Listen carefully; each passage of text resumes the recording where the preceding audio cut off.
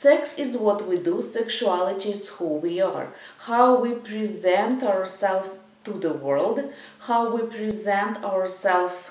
um, in a relationship with a man, how we present ourselves at work, with friends, in our daily life.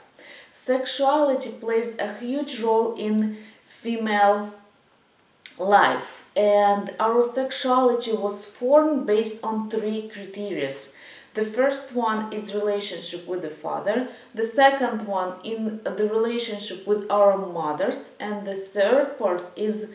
um, based on the relationship between them because we copied a lot of behavior pattern a lot of beliefs from our parents.